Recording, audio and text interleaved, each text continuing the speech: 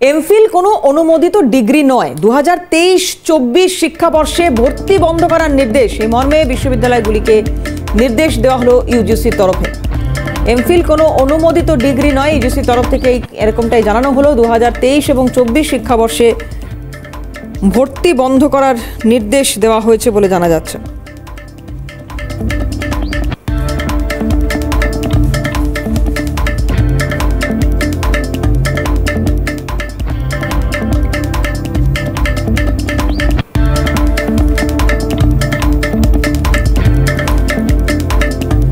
MPhil কোনো অনুমোদিত degree নয়। দু হাজার তেইশ, চব্বিশ শিক্ষাবর্ষে ভর্তি বন্ধ করার নির্দেশ। এই মর্মে বিশ্ববিদ্যালয় বিদ্যালয়গুলিকে নির্দেশ পাঠানো হলো ইউজিসি তরফ থেকে।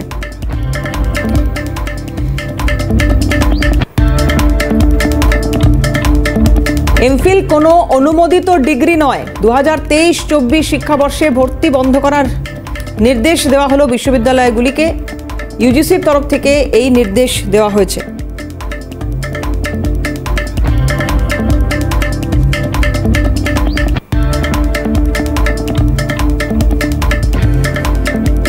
দু হাজার তেইশ চব্বিশ শিক্ষাবর্ষে ভর্তি বন্ধ করার কথা বলা হলো ইউজিসি তরফ থেকে, কারণ যেটা বলা হয়েছে যে এমফিল কোনো অনুমোদিত ডিগ্রি নয়।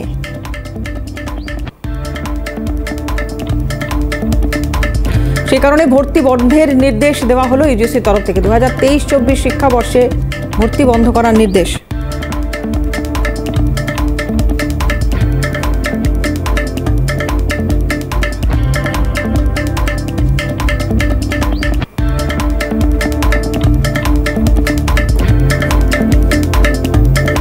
এমফিল কোনো অনুমোদিত ডিগ্রি নয়, ফলে দু হাজার তেইশ চব্বিশ শিক্ষাবর্ষে ভর্তি বন্ধ করার নির্দেশ দেওয়া হলো ইউজিসি তরফ থেকে এবং এই মর্মে বিশ্ববিদ্যালয়গুলিকে এই নির্দেশ দেওয়া হয়েছে।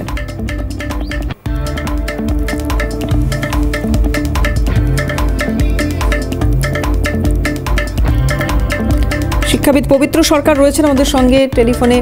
স্যার, আপনাকে স্বাগত জানাই। একটু জানার চেষ্টা করব যে ইউজিসি তরফ থেকে যে নির্দেশিকা বিশ্ববিদ্যালয়গুলিকে দেওয়া হয়েছে, তা হচ্ছে দু হাজার তেইশ চব্বিশ শিক্ষাবর্ষে ভর্তি বন্ধ রাখতে হবে।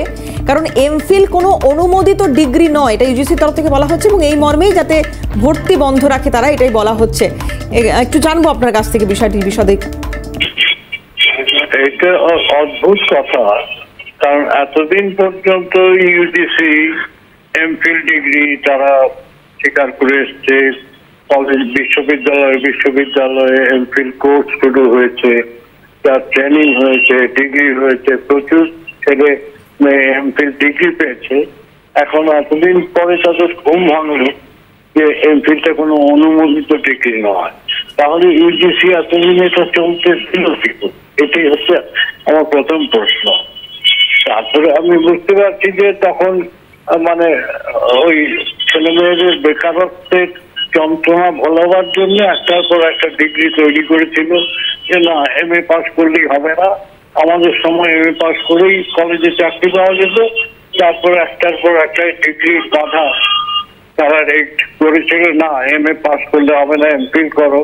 এমফিল করার পর পিএইচডি করো পিএইচডির পর ডিলিট করো, একটার পর একটা সেই তারা তৈরি করেছে। হঠাৎ তাদেরকে মতে হয়েছে যে না এমফিলটা কোনো অনুমোদিত নয়। আসল কথা হচ্ছে ডিগ্রিটা কিছু নয় যথেষ্ট সংখ্যক কাজ পাবে কিনা। ডিগ্রি দিয়ে কি হবে? যদি না কাজ পায় ফলে হয়তো এমফিলটা এখন আর মনে করছে যে কাজ এমনিতেও নেই, অমনিতেও নেই। একটা বাচ্চা ডিগ্রির দায়িত্ব নিতেই হবে। সরকারি ডিগ্রির দায়িত্ব তারা স্কলারশিপ টলারশিপ কখনো কখনো দিয়েছে, আমি জানি না। তো এটা এটা একেবারে অবান্তর ডিগ্রিটা যদি অবান্তর থেকে থাকে, আগেও তো এই ডিগ্রি ছিল না এখনও রইল না। কাজে আর কি করা যাবে? একজন শিক্ষার কর্তাদের মাথায় থেকে কখন কি বেরোয়? কখন কি তারা প্রত্যাহার করে? কখন কি তারা যোগ করে? এই কোনো মাথামুন্ড আমরা খুঁজে পাই না। অনেক ধন্যবাদ আপনাকে। বিশিষ্ট শিক্ষাবিদ পবিত্র সরকার আমাদের সঙ্গে ছিলেন টেলিফোনে।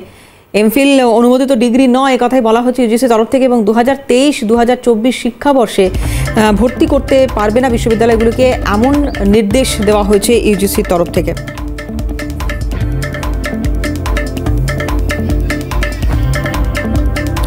বিশিষ্ট অধ্যাপক অমিতাভ কান জেলা রয়েছেন টেলিফোনে। অমিতাভ দা, স্বাগত জানাই আপনাকে সিএনএ এমফিল কোনো অনুমোদিত ডিগ্রি নয়, ফলে দু হাজার তেইশ চব্বিশ শিক্ষাবর্ষে ভর্তি বন্ধ করার নির্দেশ বিশ্ববিদ্যালয়গুলোকে দেওয়া হলো ইউজিসি তরফ থেকে।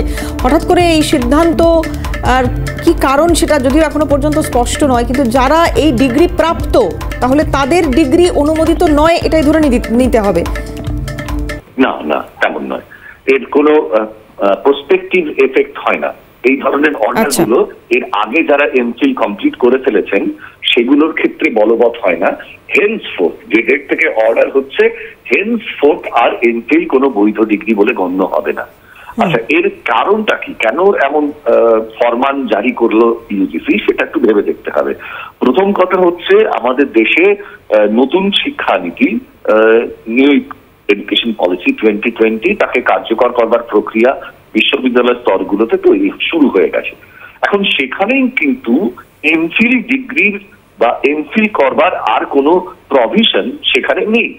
এবং কার্যত গ্রাজুয়েশন থেকে একটা ইন্টিগ্রেটেড সিস্টেমে পিএইচডি পর্যন্ত পরিচালনা করবার, অর্থাৎ কোনো ছাত্র যদি গ্রাজুয়েশনে ভর্তি হয় মেজর কোর্স অর্থাৎ তার পছন্দের মেজর কোর্স বা যাকে একসময় অনার্স বলা হতো, সেই বিষয় নিয়ে সে পড়াশুনো স্টাডি করতে করতে যে কোনো পর্যায়ে সে পড়া ছেড়ে চলেও যেতে পারে।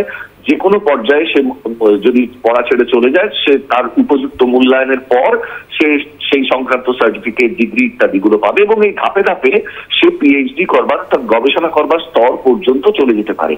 মাঝখানে এমফিল পদ্ধতি যেটা ছিল এমফিল ডিগ্রি যেটা ছিল, সেটা মূলত গবেষণা করবার জন্য প্রশিক্ষণ দেওয়ার একটা অন্তর্বর্তী ব্যবস্থা। এই অন্তর্বর্তী ব্যবস্থা, তার যে ডিগ্রি সেই ডিগ্রির পরবর্তীকালে কিন্তু দেখা গেছিল যে চাকরির ক্ষেত্রে বা অন্যান্য জায়গাতে তার জন্য আলাদা কিছু ভার বহন করতে হচ্ছে, ওয়েটেজ বহন করতে হচ্ছে সরকার বা কর্তৃপক্ষকে। অর্থাৎ এমফিল এর জন্য আলাদা ইনক্রিমেন্ট দিতে হচ্ছে এমফিল এর জন্য আলাদা নম্বর দিতে হচ্ছে ইন্টারভিউতে এবার এমফিল এর আসন সীমাবদ্ধ থাকার কারণেই অনেক ছাত্রছাত্রী আছেন যারা এমফিল না করে পিএইচডি সরাসরি পিএইচডি তে ভর্তি হয়ে গেছেন।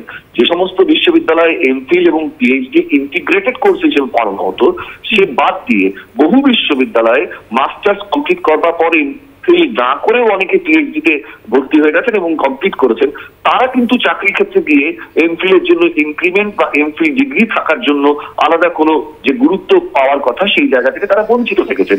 ফলে এটা এক ধরনের বৈষম্য তৈরি করছিল। সেটাকে সরিয়ে দিয়ে নিউ ইকোনমিক পলিসিতে যেভাবে একটা কি বলব, ধারাবাহিক প্রক্রিয়াতে গবেষণার দিকে এগিয়ে নিয়ে যাওয়া হয়েছে, তাতে এমফিল এমনিতেই অবলুপ্ত হয়ে যাওয়ার মানে কথাই ছিল।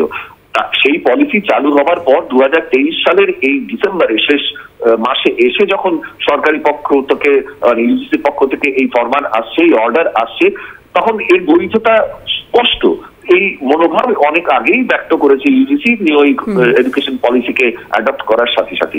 আমার মনে হয় এতে যারা গবেষণায় ইচ্ছুক তাদের পক্ষে গবেষণার কাজে যুক্ত হওয়ার জন্য সময়সীমা কমে যাবে। অর্থাৎ তারা আরও বেশি সুবিধা পাবে যে এমফিলটা হয়ে গেছিল তাদের জন্য একটা ওয়েটিং পিরিয়ড তাদেরকে পাইপ লাইনে রেখে দেওয়া হতো।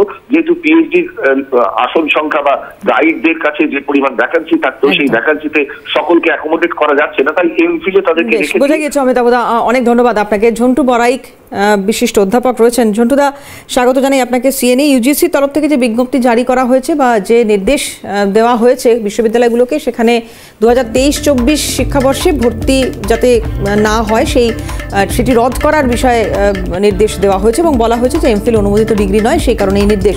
জানব আপনার কাছে এটার কি কারণ? মানে হঠাৎ করে এইরকম একটি নির্দেশ নেওয়ার কি কারণ?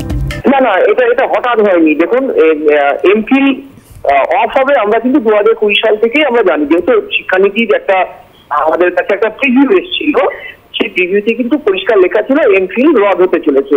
ইভেন শুনলে অবাক হবেন, আমরা কিন্তু বিগত লাস্ট দু বছরে কিন্তু কোনো এমফিল ক্যান্ডিডেট নেইনি। ইভেন শেষ সময় এমফিল ক্যান্ডিডেটদের আমরা কিন্তু কনভার্স হয়ে পিএইচডি তে করিয়ে নিয়েছিলাম যেহেতু তো ছিল না, ছাত্ররা সাফার করবে। এবার প্রশ্নটা কেন বন্ধ করল? এবার দুটো অপশন থাকতে পারে। যে সারা পৃথিবী জুড়ে যেভাবে গবেষণার মান উন্নত থেকে উন্নত হচ্ছে এবং জটিলতা বাড়ছে সেক্ষেত্রে আমি সত্যি কথা বলি এমফিল কিন্তু কার্য গবেষণার সেই কার্যকারিতাকে ধরে রাখতে পারছে না। এমফিলকে আপনি কার্য কিন্তু কোনোভাবেই গবেষণা বলতে পারেন না পূর্ণাঙ্গ গবেষণা নয় এটা miniature form of the research বলা যেতে পারে। ফলে এই লজিকে এই মুহূর্তে পুরোপুরি পিএইচডি। গবেষণায় যদি অনেক ধন্যবাদ আপনাকে। ঝন্টু বড়াই অধ্যাপক ছিলেন টেলিফোনে।